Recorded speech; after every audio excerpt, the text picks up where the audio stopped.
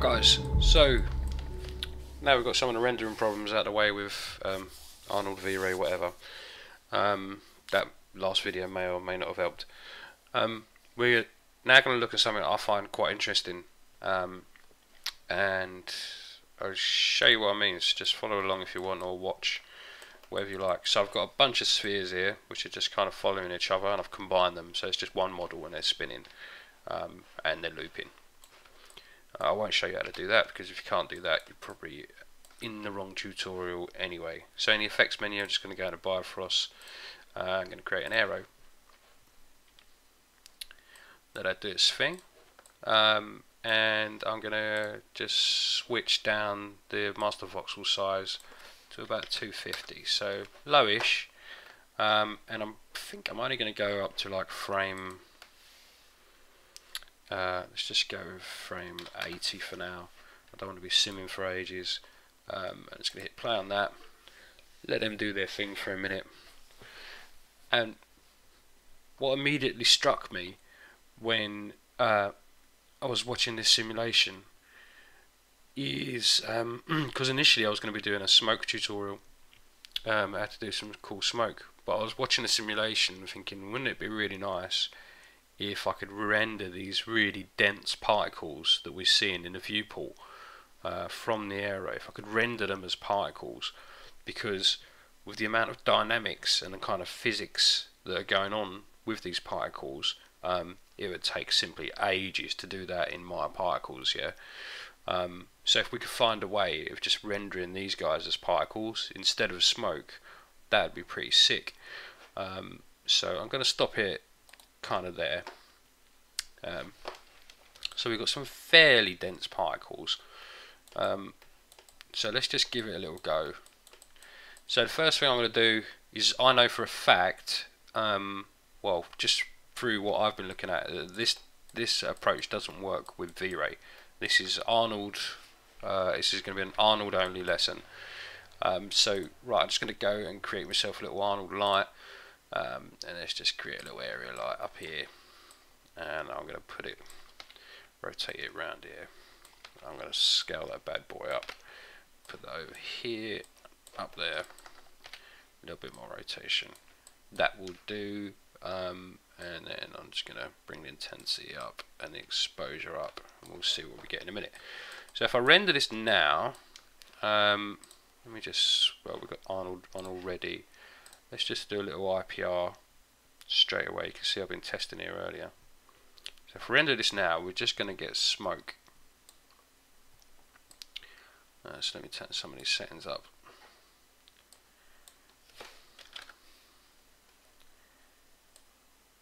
So you can see we just got wisps of smoke going on. Um, like cool and all that, but it's not what I'm uh, trying to show you here. So let's just stop that IPR for a second whip that off. And it's fairly simple really. So with the container selected um, we'll just go into the Aero shape attributes. Uh, if you don't know that's this sucker okay? Um, and we're going to scroll down to where it says render. And at the moment it says render as a volume. We can change this. We can change this to render as points okay so that's now render as points, and now we've got point controls for the radius of those points.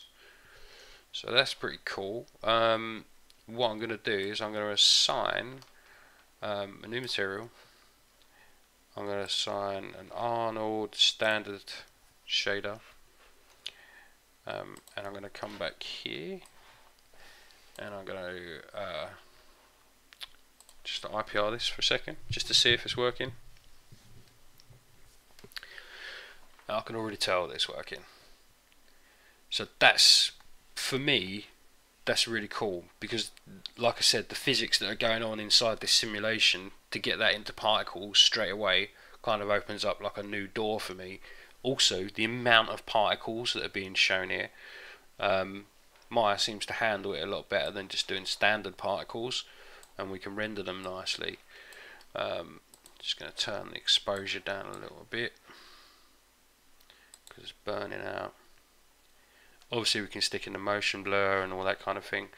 So what I want to do now is I'm going to up the resolution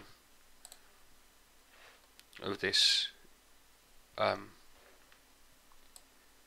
this aero so I'm going to take that down to 100 I'm going to rewind that and I'm going to play that just for a little bit we can just have a little chat while this is happening I haven't got a pause function on my um, recording software but I could just pause it in post we'll see.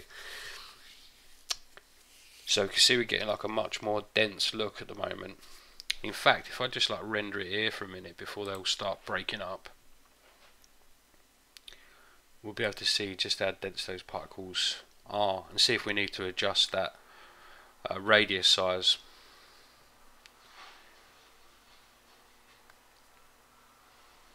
and that's a really dense particle and that looks really really good like I love that I love that look so just render that again a little bit closer up Now I need to find a way, personally, for my own personal gratification. I have to do this in V-Ray as well. So now really guys, you can just go forth and create some amazingness. So we've got a nice motion blur going on and look how thick those particles are. That's insane. I look a bit wrong at the moment, but um, we'll just carry on that sim for a minute. So we should be able to create some really cool stuff with this now. Some nice like artwork or just some mad effects. Just leave that to carry on for a bit. In fact at this point I'm going to pause. Right, I'm just going to stop it here because I really can't be bothered to sit and wait uh, for half an hour for some sim to happen. But we've got like some nice thickness going on at the moment so I'm just going to render this and see what it looks like.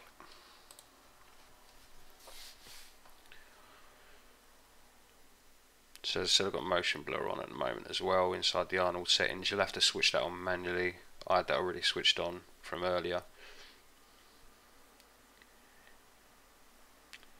But again, you got you know you've got slim to no chance of recreating this with like N particles and, and getting this um, this fluid smoky look and going forward I think this is this is quite exciting for me.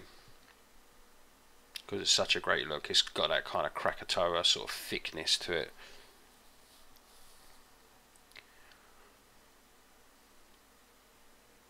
Should have really hidden those spheres. But we had a bit of depth of field into this. And it's going to look amazing. Come on Arnold, quicker. So obviously the rendering is not the fastest, but it's not too shabby. I've got a 24 core machine, 48 threads, so it's whipping through it. Oh look at that, there's some loveliness going on over here.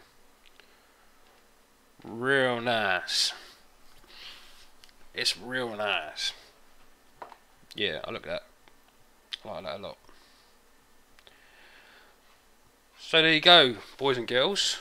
You want to start making some seriously thick looking particle sims, you can do it using Aero, Arnold, and just ticking that little box back here um, under the Aero shape uh, that said, what did it say? This is the thing I found earlier that it, go, it, it, it goes missing once you've ticked it. Strange. Oh, and uh, just remember to turn on visible reflections, visible refractions if you want them to show up um, underneath. I'm not sure if it's a little bug.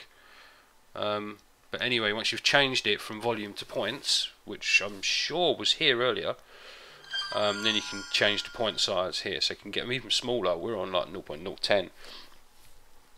So Oh, there we go. It it's weird. It's under volume controls now. I'm sure it wasn't earlier. I'll have to look back in the video. But whatever. There you go. Some really nice particles rendered pretty quickly in Arnold. Um, So yeah, go forth and enjoy the marvels of uh, uh, Bifrost Aero. Nicely. See you later.